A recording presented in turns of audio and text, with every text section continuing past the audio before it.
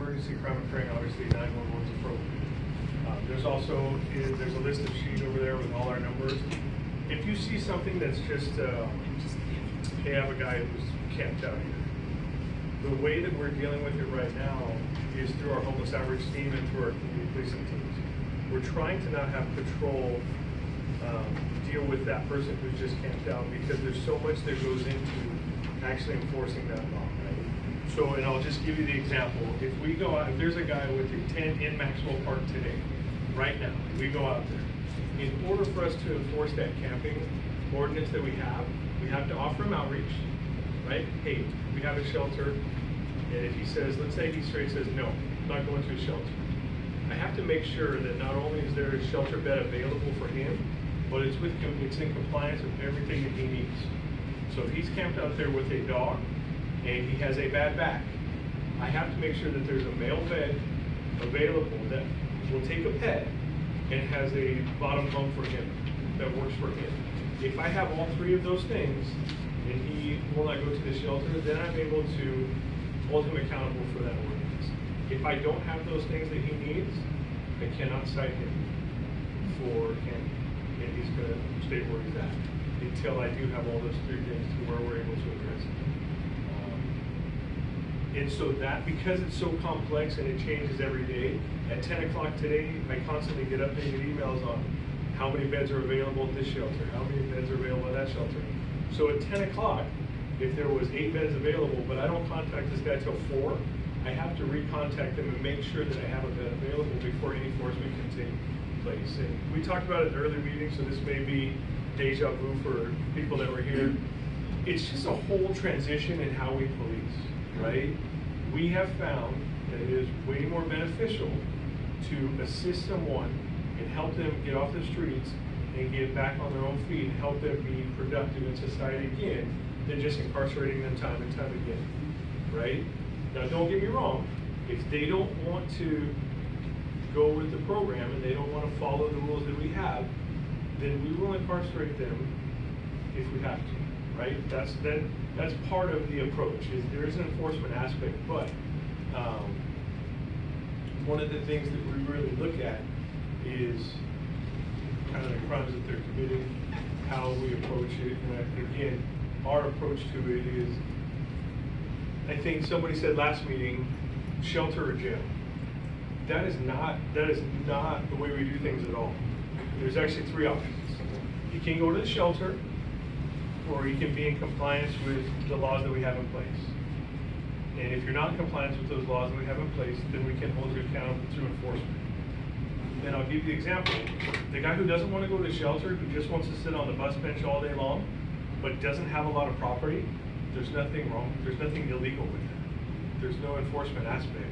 So I think some of the misinformation that gets sent out is if you call dispatch because, hey, there's a homeless guy sitting on the bus bench and I don't like it, dispatch may tell you, hey, there's nothing we can do. Well, that's not necessarily true. There may be no enforcement aspect that we can do, but what we can do is go out and contact him and offer him services, whether it's our drug rehab that we have, whether it's um, the PERT team we talked about. Maybe he has some mental illness and he needs to be evaluated by a psychologist, or maybe he just needs resources and we offer him the resources. But at the end of the day, it's his choice whether he wants to accept those or not. And if he chooses not to, but he's still in compliance of all the laws that we have in place, then it's okay for him to be You say if they're not staying, but what if they're sleeping on the park? Yeah. What if He wants to he's sleep on the sleeping park bench? And a handicapped He's person laying wants out to come along and sit on that bench and wait for the bus. Now, And he's sleeping on it. In my opinion, he should probably make room for them to sit, right? But there, he's, he's allowed, he's allowed to be there. I, there's no law. He's allowed to sleep on it. What about with the school kids? We live near Dale and all, and that one These- corner. These are, these are my laws. I know. I'm just telling you exactly what, what we can do, right? it, that's all. And that's, and that's part of the, having these meetings is providing an educational part too, because to me personally, I don't think it's right if he takes up the whole bench and use it. But do I have the authority as a police officer to make him change his actions? And the answer is no, I don't. Well, what about what's, when it involves the school children and those guys that camp on the new bike trail? Now, if they're And they're camping- blocking, Right. So are you talking about like Schweitzer Park? No, I'm talking about Stony Brook. And right Edison, so if they're Yeah. camping with tents and property, yes, On that's the something we, yes, trail. we can address that absolutely.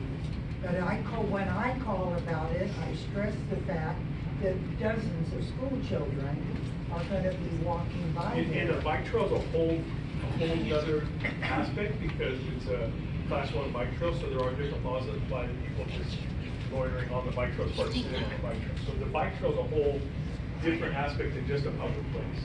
Bike trail is different.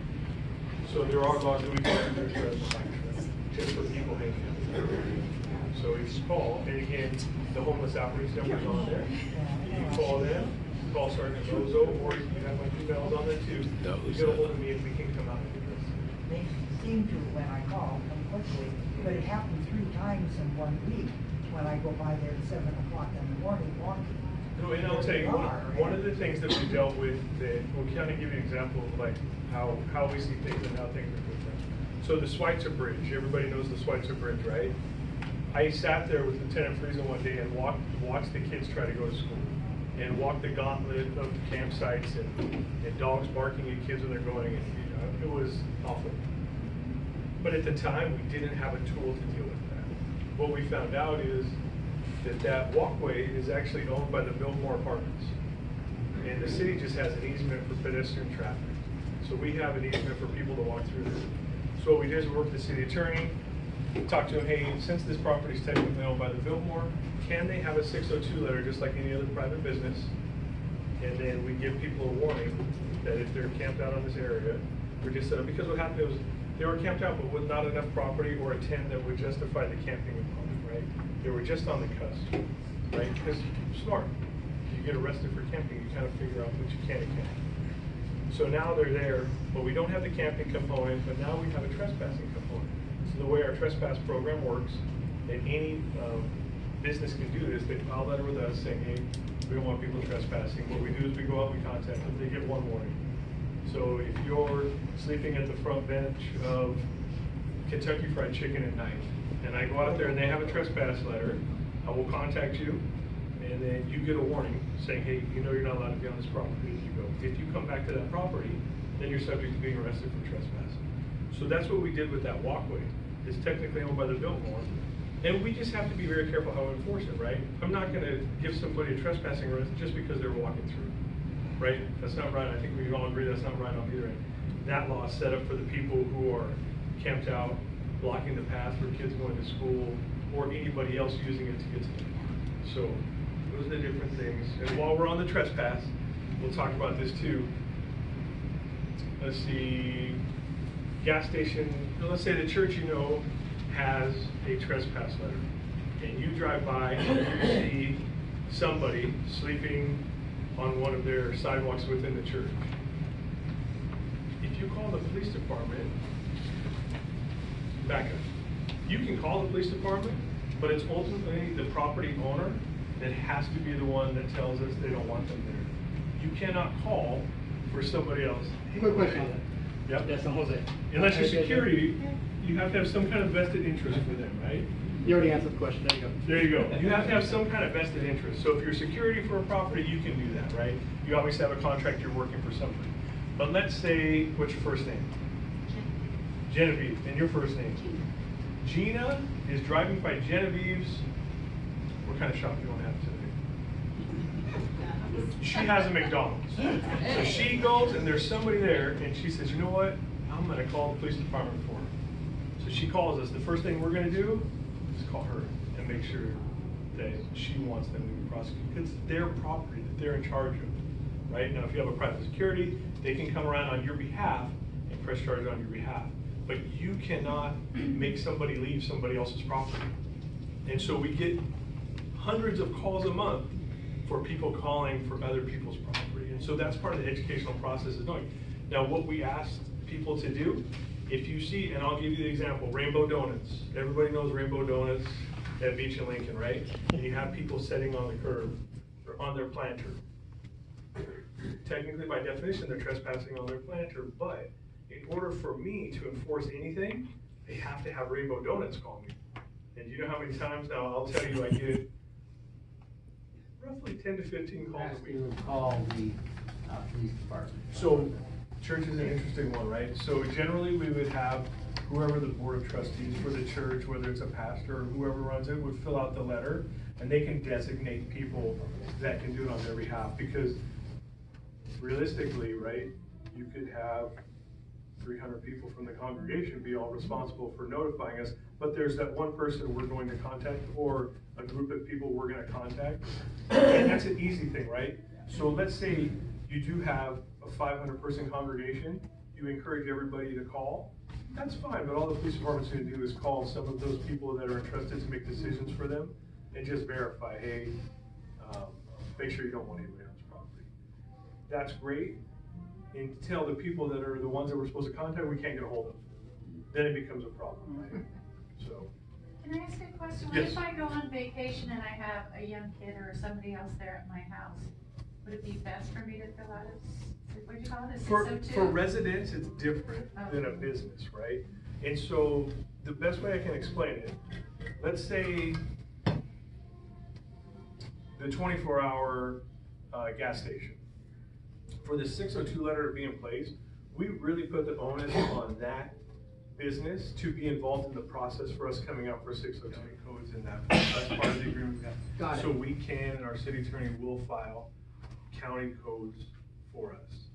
So, the best way to do that, if you call dispatch again, they're probably gonna refer you to the county. But if you want us, the Anaheim Police Department to come out, notifying the homeless outreach hotline, leaving a message on there, it generates an email that goes to the sergeant of that detail. I have And he'll his put it email. on his list for us to go out to. Now granted, your space is one of, they have the whole city Yeah. right? So we just talked about it, there's people living in caves out on Weir Canyon and Gypsum Canyon, right? So just remember that that whole unit responds out to Gypsum Canyon in the ninety-one and all the way to Naughton Mall or not in uh, Lincoln. So understand how big of an area, so they may not get to it that day you put it in, but as long as it's on our list, we will get to it. I will say I emailed, um, Cooper? I'm Cooper. You're Cooper. I'm Okay, okay, well, I emailed you on a Sunday and you responded to me, so I Yes. totally appreciate that, and they were gone by that week. His response time is, There's still some lingering stuff. So I'm gonna tell you a little secret about my response times, and you guys aren't allowed to tell anybody. Not only am I the West, uh, Community Policing Sergeant, I'm also in charge of all our negotiators for the whole city. So I'm on call all the time and don't get to turn off my phone. So- It's a shame for you, but really good for us. Yeah. Here for Cooper.